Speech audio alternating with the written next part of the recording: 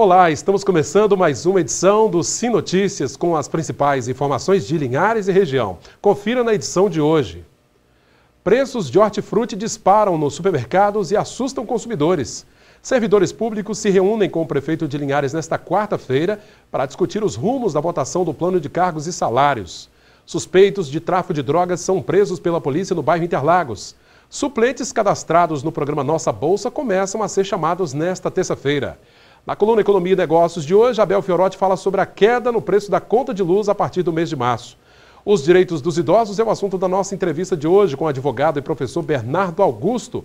E os assuntos do esporte linharense do Linhares Futebol Clube do Capixabão com Altemar Félix. Estas e outras informações a partir de agora no Sim Notícias. Linhares se vê aqui.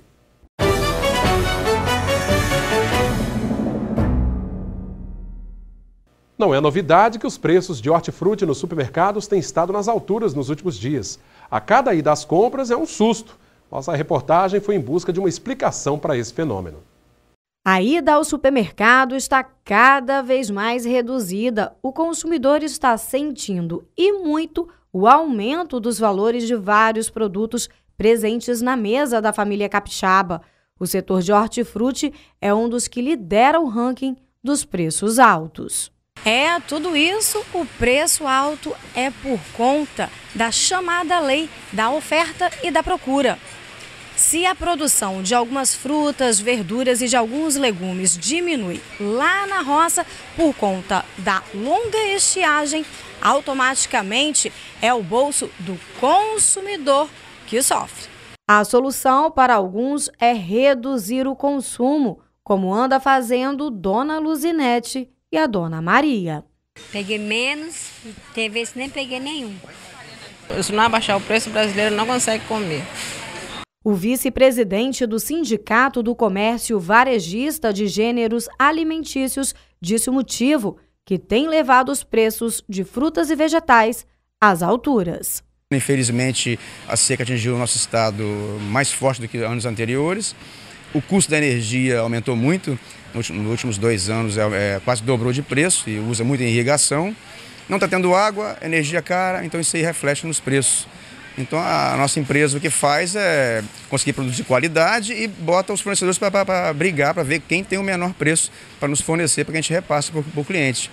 Pelo visto, a única saída do consumidor é a pesquisa de preços, já que a seca na região vem se prolongando e também por não existir uma legislação que fiscalize o setor de hortifruti nos estabelecimentos comerciais. Como não tem legislação é, que possa é, fiscalizar, uma legislação que, que tenha uma tabela de preço, como alguns outros produtos, por exemplo, a gasolina, não tem no, no a parte da hortifruti, não tem como é, o PROCON fazer a fiscalização desses produtos. Apenas fazer uma pesquisa de preço e informar o consumidor o local onde se encontra mais em conta. Quem compra direto do produtor rural, como esse supermercado em Linhares, tende a repassar os produtos com um valor mais acessível aos consumidores. Às vezes consegue é, um preço é, inferior em relação ao concorrente porque a gente compra direto do produtor. E também é, você valoriza o produtor também. Ele evita uma logística mais cara, vendendo para você, para ele também é, é, é, fica mais em conta, que ele já recebe de imediato também. Então tem todas as vantagens dessa negociação direta do, do supermercado com o, o produtor. Bom, o tomate chegou a registrar alta de 84% e a cenoura de 65%. Segundo a Conab, a elevação nos preços das hortaliças era esperada para esse período em função da menor oferta de produtos provocada pelas condições climáticas desfavoráveis para a produção. Servidores municipais lotaram o plenário da Câmara de Linhares na sessão desta segunda-feira para acompanhar a leitura do projeto que estabelece plan o plano de cargos e salários dos servidores. A expectativa era de que, após a leitura da proposta e posterior discussão, as emendas propostas ao projeto fossem votadas pelos vereadores. Bom, mas o plano, porém, foi retirado da casa a pedido do prefeito municipal. Vereadores de oposição e servidores se manifestaram contra a atitude do prefeito. Segundo o presidente do sindicato, ou segundo a presidente do Sindicato dos Servidores Públicos de Linhares, Simone Aguiar, uma reunião com o prefeito municipal Nozinho Correia está marcada para a tarde desta quarta-feira. Eles não descartam a possibilidade de paralisação geral do funcionalismo. Em nota, a Prefeitura disse que o Sindicato dos Servidores Públicos solicitou novas reuniões com representantes do município para discutir o plano de cargos e salários. Esse encontro, como eu disse, será realizado na tarde desta quarta-feira. Bom, e uma boa notícia é a queda no preço da conta de luz a partir desse mês de março. Né? Esse assunto você acompanha a partir de agora com a Bel Fiorotti na coluna Economia e Negócios.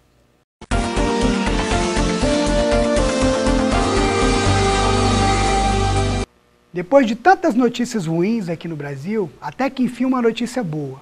A bandeira tarifária, que aplica uma cobrança extra nas contas de luz, sai da cor vermelha para a cor amarela a partir de hoje, dia 1 de março, em todo o país. Com a mudança, o custo adicional para os consumidores cai de R$ 3,00 para R$ 1,50 a cada 100 kWh de energia consumida. Segundo a ANEL, a Agência Nacional de Energia Elétrica, as contas de luz vão ficar, em média, 6% mais baratas a partir do próximo mês, em abril, quando a bandeira irá para verde, a cobrança extra será suspensa. Então esperamos aí uma conta de luz mais barata a partir do mês que vem, mês de abril. Esta é a primeira vez, desde que o sistema de bandeiras entrou em vigor, em janeiro do ano passado, de 2015, que a bandeira sai do vermelho, cor que indica que o custo da produção de energia no país está muito alto. A passagem para a amarela neste mês de março, significa que a situação apresentada melhorou. Em 2015, os brasileiros pagaram um total de 14,7 bilhões de reais a mais nas contas de luz devido à cobrança da bandeira tarifária. O governo informou que serão desligadas agora em março 21 usinas termoelétricas, que produzem energias mais caras que as hidrelétricas. Isso foi possível, segundo o Ministério de Minas e Energia, após a avaliação de três fatores combinados: consumo de energia, nível dos reservatórios e entrada de energia nova no sistema. Mas ainda não é possível saber o impacto dessas decisões para os consumidores, já que esse custo varia de acordo com cada distribuidora. São 63 distribuidores em todo o país. Temos de acompanhar o impacto dessas medidas em nossa distribuidora local, a EDP Excelsa. Espera-se realmente que tenhamos uma diminuição em nossas contas de energia, já a partir do próximo mês de março. Trata-se de um alento, e um período complicado para manter em dia as contas do orçamento financeiro e familiar. Fiquemos cada dia mais atentos aos números e ao controle financeiro. Pense nisso. Tenham todos uma ótima e abençoada semana. Até a próxima coluna e, como sempre digo, vamos em frente. Uma boa notícia, né, Abel? Bom, e o nosso colunista Abel Fiorotti também deixou um recado para você que nos acompanha aqui na coluna Economia e Negócios. Olá, pessoal que acompanha a coluna Economia e Negócios. A partir da semana que vem, a nossa coluna estará nos Estados Unidos, trazendo novidades da economia americana e seus impactos em toda a economia mundial, impactando inclusive a economia brasileira, a economia capixaba e, por que não, também a cidade de Linhares. Fique ligado na coluna Economia e Negócio a partir da semana que vem, direto dos Estados Unidos. Um forte abraço a todos. Pois é, então já na próxima semana, né, a coluna Economia e Negócios, direto dos Estados Unidos. Veja agora como fica o tempo nesta quarta-feira em toda a região. Quarta-feira com tempo instável e chuva rápida. Em Linhares, mínima de 21, máxima 35 graus. Em Colatina, variação entre 20 e 36 graus. São Mateus com temperaturas entre 22 e 34. Em Vitória, a mínima será de 21 e a máxima 32 graus. Depois do nosso intervalo, você vai ver suspeitos de tráfico de drogas são presos pela polícia no bairro Interlagos. Nós já voltamos. Após várias denúncias anônimas, a polícia prendeu dois suspeitos de tráfico de drogas no bairro Interlagos. Com eles foram apreendidas pedras de crack e buchas de maconha, além de uma arma. Ninguém segura a polícia de Linhares na luta diária contra o crime. Em plena segunda-feira, um jovem de 18 anos foi preso suspeito de ser integrante do tráfico de drogas no Interlagos e bairro Shell. Identificado apenas com as iniciais, PCL foi detido após denúncias anônimas dos próprios moradores da região.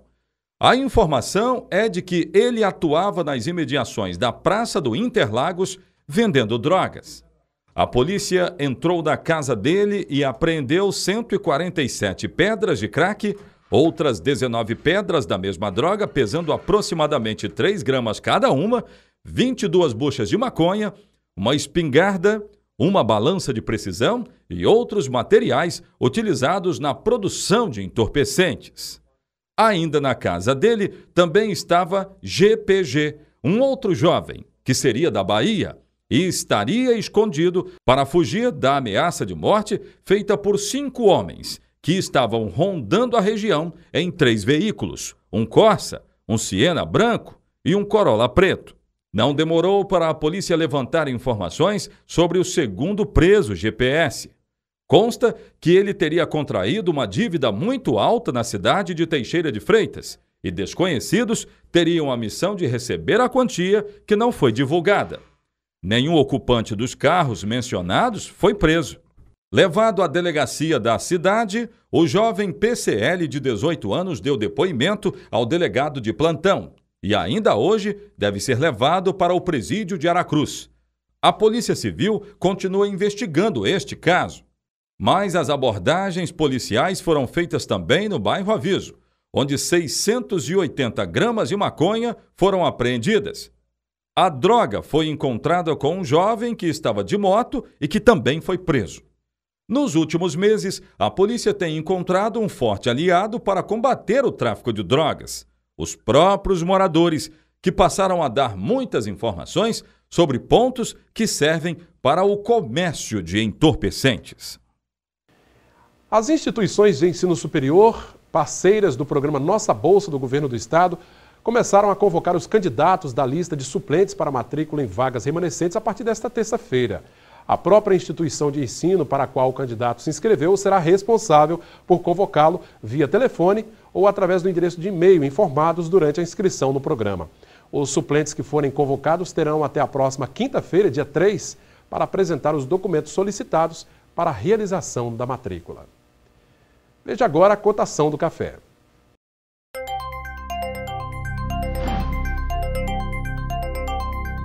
Arábica tipo 6 fechou valendo 441 reais a saca. Arábica 7, 342 reais. Conilon tipo 7 fechou valendo 352 reais a saca. A chegada do jogador Donizete Pantera, ex-Botafogo, ao esporte linharense e um bate-papo com o atacante Flávio do Linhares Futebol Clube, você acompanha agora na coluna esportiva de Altemar Félix. Sim Esportes. Oferecimento HIE Esportes e Mecânica do Trevo. Muito bem, Cláudio. Olha, o tabelinho esportivo de hoje, no horário de almoço, foi animado. Hein? Esteve conosco ninguém menos do que Donizete Pantera, que foi contratado pelo Esporte Clube Linharense para disputar jogos pelo Capixabão. E ele já antecipou que o seu principal objetivo é observar o futebol também fora das quatro linhas e ser técnico. E quem vai enfrentar o Pantera, talvez já neste sábado, é o Flávio, que é, nesta quarta enfrenta o Real Noroeste na casa do adversário vencendo um dos destaques do Linhares como artilheiro do time. E aí, Flávio, agora é torcer para o Linharense e depois derrubar o Linharense? Como é que é a história? Bom, isso a gente, a gente tem que se preocupar com a gente mesmo. A gente tem que ganhar os, os, nossos jogos e não, a gente não precisa se preocupar com ninguém, entendeu? Que está lá atrás, né? A gente tem que se preocupar em ganhar os nossos jogos. O Linhares Futebol Clube só depende dele. Só, só da gente. Beleza pura. Obrigado, Flávio. Olha, então nesta quarta-feira tem Esporte Clube Linharense e São Mateus no Campo do América às 15 horas, hein? dentro do horário novo, 15 horas. E uh, com a presença já do Donizete, que dificilmente vai ter condições de jogo, porque ainda precisa ser regularizado. À noite, às 19 horas, o Linhares Futebol Clube joga fora de casa contra o Real Noroeste. E no próximo sábado, também 15 horas, aí o bicho pega. Linhares Futebol Clube e Linharense no Campo da América. Aí o Donizete certamente já vai jogar contra o Flávio aqui e vai ser um ótimo desafio, bom para o futebol de nossa cidade. Bom, minha gente, nós mostramos no Notícias desta segunda-feira a situação vivida pelo seu José, né? É, que está internado no Hospital Rio Doce há vários meses. Ele deu entrada para fazer uma cirurgia de coração, passou pelo tratamento, já recebeu alto, mas não pode deixar a unidade, porque nenhum parente veio buscá-lo, mesmo após vários contatos do hospital com os familiares. Ontem nós conversamos com o professor Bernardo, participou conosco da, da matéria feita pela Juliana, explicando o que, que a lei diz sobre o assunto, mas hoje de maneira mais extensa, de maneira, maneira mais explicativa, o professor Bernardo voltou para continuar conversando conosco. Tudo bem, professor Bernardo? Boa noite, Cláudio, boa noite, telespectadores da TV Sim. Estamos com mais um tema muito importante, né? Para a comunidade e ao mesmo tempo bastante delicado, essa questão do abandono de uma uhum. pessoa que tanto significou e tanto contribuiu com a nossa sociedade. Pois é, uma situação que, graças a Deus, assim, não é tão comum, mas infelizmente acontece, é o caso desse, desse idoso, que parece que tem sete filhos e nenhum veio buscá-lo, mesmo após ele receber alta. Qual, o que, que, a lei diz exatamente com relação às responsabilidades dos filhos com relação aos pais já, já em idade avançada, é, a, a, gente percebe que o idoso, que segundo a lei, é uma pessoa que se tem uma, uma faixa etária de 60 anos para cima. Daí para frente já é idoso. Já é idoso. E ele tem, inclusive, uma lei própria que regulamenta ele, Cláudio. Por exemplo, a gente tem aí a criança e adolescente, que é regulamentada pelo Estatuto da Criança e Adolescente, uhum. e o idoso, por ser uma pessoa que já tem uma certa debilidade natural da vida, é regulamentado pelo Estatuto do Idoso, que é uma lei agora que em 2013 Sim, é uma lei, fez lei nova, anos. né? É uma lei nova e ela é uma lei que tem uma confere ao idoso uma gama de direitos, uhum. Né? E dentre esses vários direitos, o idoso, ele consequentemente, ele tem o de, ele tem o direito, isso é algo inato a ele de ser protegido, de ser guardado, de ser mantido, uhum. não apenas, tá, Cláudio e, e ouvintes, mas também pelos pela, pela família dele, também pelo poder público, pela sociedade. Uhum. Então, realmente, todos devem se mobilizar e tomar algum tipo de medida para esse senhor que se encontra no hospital aqui da nossa cidade. No caso do, do, da pessoa idosa, a responsabilidade é dos filhos? É, aí nós temos que depender e verificar o caso a caso. Nessa situação já foi identificado os sete filhos. Uhum. Então a gente percebe que esse idoso ele tem uma família. Então, consequentemente, a responsabilidade inicial, vamos assim dizer, passa a ser da família. Temos que buscar todos os meios possíveis de identificar esses familiares. Uhum. Na ausência desses familiares algum obstáculo, não isenta também a responsabilidade do poder público. Porque, como nós falamos, nós estamos falando de uma pessoa idosa que tem um estatuto do idoso garantido de forma expressa nesse documento legal os direitos que ele tem. Então, os familiares têm deveres? Também têm. O poder público tem deveres em relação a essa situação? Também tem. Para você ter ideia, o artigo 1 desse estatuto diz: o idoso tem direito de ser protegido pela família, pela comunidade e pelo poder público. Sim. Então, uma responsabilidade que gira em torno de várias pessoas em relação a esse senhor. Uhum. Muito bem, ele tem direito, mas a, a família tem o dever. Exato. Tem alguns deveres, como o senhor disse também, a própria, o próprio poder público. Né? Exato, né? exato. É, no caso da família, num caso específico do seu José, por exemplo, é, a, a, família ela pode ser acionada judicialmente, em que sentido nesse caso? É, nesse caso, que já foi identificado os, os familiares, é, a própria legislação, ela dá à família, como falamos, a obrigação de cuidar do idoso. E cuidar do idoso, é importante que se saiba, não significa pegar o idoso e levar necessariamente para casa dos familiares. Isso seria, pessoal, o ideal, né? Que trata Mas às vezes uma... não é possível, né? É, às vezes não gosta, como nós estávamos falando ali uhum. há pouco, ninguém é obrigado a gostar de ninguém, mas isso não isenta os familiares da sua responsabilidade, uhum. do seu dever, da sua obrigação de fazer alguma coisa para proteger esse idoso, ainda que pague um aluguel, em uma casa de acolhida, uma pessoa para cuidar, ou um cuidador, mas a família ela tem a responsabilidade. Se ela é isenta, se ela é negligente, se a família é inerte diante desse senhor, a família ela pode ser responsabilizada. E a lei é muito clara nesse sentido. A família pode ser responsabilizada civilmente, é o que a gente fala na justiça. O que é ser responsabilizado civilmente? A família pode pagar uma indenização a esse em senhor. dinheiro, uma indenização. Em dinheiro, né? Esse dinheiro. E a família também pode ser responsabilizado criminalmente. Existe no Código Penal o crime de abandono moral, uhum. abandono material. Então, é, é, é necessário que a família, caso esteja nos escutando nesse momento, que se conscientize e saiba das suas obrigações, dos seus deveres e da responsabilidade a qual elas podem se submeter. No caso desses, professor Bernardo, eu imagino que um pai jamais queira acionar o filho na justiça, né? Os uhum. casos são raros, mas enfim, mesmo o idoso abandonado e que ele não queira, diga, olha, eu não quero acionar meus filhos na, na justiça, mesmo estando na condição que eu estou, ele tem esse direito, a justiça nesse caso fica impossibilitada de, de agir nesses casos? É, não, normalmente a gente tem que separar que tipo de situação que o pai não quer. Por exemplo, nós vimos há pouco que o pai pode ser sofrer, pode receber uma indenização. Uhum. É aqui nós falamos um pouquinho da responsabilidade civil. Né? Nesse caso, o pai ele pode exigir dos filhos que não observe uma indenização por dano moral ou não. Isso fica uma liberalidade dele. Agora, do ponto de vista do abandono moral, do abandono material, aquela responsabilidade criminal, ainda que o pai não queira, nós temos órgãos competentes que podem fazer valer a ausência, do, a vontade do pai nesse sentido. Então a justiça, no caso criminal, entendo, penso eu, que mesmo que o pai não queira, ela pode tomar as medidas cabíveis. Entendi.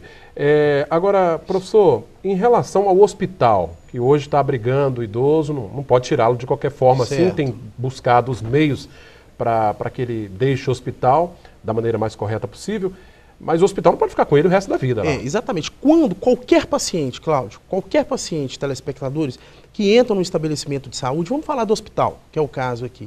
O hospital, no momento que o paciente entrou, ele assina aquele formulário, né, com nome, endereço, pessoas de contato para que venha buscá-lo quando necessário. No momento que o paciente entra, o hospital já assume a obrigação de guardar, é o que a gente fala é obrigação de guardar, é responsável por fazer a segurança, proteger aquele paciente enquanto estiver nas dependências do hospital, protegê-lo da sua integridade física e moral. Só que essa proteção ela não pode ser para sempre. Uhum. Né? O hospital ele protege, ele guarda, ele tem a sua obrigação, mas enquanto perdurar o tratamento médico. Terminou, não terminou, essa... já deu alta, o hospital ele consequentemente já exime a sua responsabilidade. Por isso que o hospital ele tem que entrar em contato, como já foi feito, com as pessoas, com a família, com alguém, uhum. para que ele, aquele senhor, se retire das dependências do hospital, volte para a família ou volte para algum lugar que ele seja tratado com dignidade. Até porque o hospital também tem uma rotatividade. Sim, precisa liberar Precisa leitos, liberar o leito, tem que ter espaço para que outros pacientes ali estejam. É uma situação muito complexa e lamentável, né, professor é. Bernardo? A gente realmente. É muito lamentável porque a gente percebe é uma questão não apenas jurídica da coisa, não é questão de responsabilidade. É também, mas a gente percebe que é uma falta de respeito. Total. Né? né? Total, e a gente fala sobretudo do idoso, que, como falamos no início do, do, da entrevista, contribuiu né, durante tanto e tanto tempo, é, talvez deve ter auxiliado ao desenvolvimento dos seus próprios Sem filhos, que a tudo indica nesse momento, não faz a mínima. Então, realmente é uma situação muito triste que a gente até convoca né, a todos para que, tendo alguma ideia, sabendo na própria cidade se há vaga em alguma casa de acolhida ou se até num asilo que trate-o com dignidade, que leve ao hospital, que comunique ao Ministério Público também, uhum. uma entidade que é responsável, que atua com seriedade nessa situação. Possa ajudar a intervir nessa E possa ajudar, né? exatamente. Professor, só para a gente finalizar, o senhor falava do Estatuto do Idoso, que é uma lei própria para os idosos, como existe para os menores Isso. e para cada categoria. A gente sabe, é, existe porque cada uma dessas categorias tem as suas particularidades. Né? Certo. Né?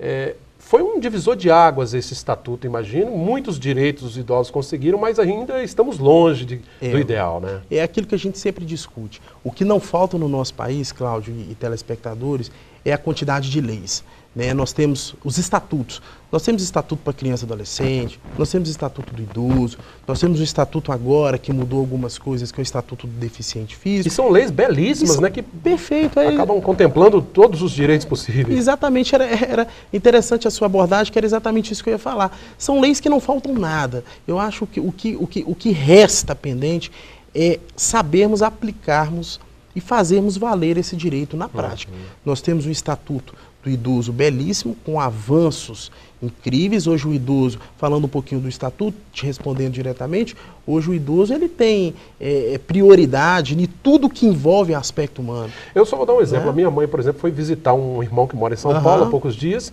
Ela foi de graça, fez uma viagem de ônibus sem pagar nada, gratuitamente, Ótimo. e está voltando gratuitamente. Assim, um, Parece algo simples, mas é um grande avanço se formos comparar com alguns anos atrás. Exato, é um direito, inclusive, de transporte previsto gratuito no estatuto previsto no Estatuto. E toda e qualquer política social, política pública, eh, atendimento, a gente percebe nos caixas, nos bancos, O idoso, pela sua natureza, ele tem essa, esse direito. O que vale é sabermos aplicarmos e, acima de tudo, respeitarmos esse público. É importante o próprio idoso também saber desses direitos, estar Exatamente. consciente para poder Claro. cobrar, né? Claro, para poder cobrar. E o que não falta são órgãos, são entidades que estão ali esperando receber denúncias para fazer a efetivação do que está no Estatuto do Idoso. Que bacana. Por isso que eu insisti para que o professor Bernardo voltasse aqui. Ele, em breve, né, vai fazer parte, já faz parte do nosso time aqui, vai ter um espaço também aqui na, na TV Sim, trazendo até você, telespectadores, informações sobre o direito, né, eh, falando um pouquinho sobre o jurídico, mas de maneira mais clara, mais, mais simples, para que você possa entender. Professor Bernardo, obriga- obrigado pela vinda aqui. Eu que agradeço e mais uma vez a TV Sim eh, fazendo um gol de placa né, nesses temas tão importantes, tão polêmicos e que cada vez mais leva realmente a TV em contato com o povo e para o povo. Eu acho que esse é o trabalho, vocês estão de parabéns e em breve nós estaremos juntos, não é isso? Se Deus quiser. Breve, breve, o professor Bernardo estreando a coluna dele, o espaço dele aqui também na TV. Professor, obrigado mais uma vez. Um viu? abraço.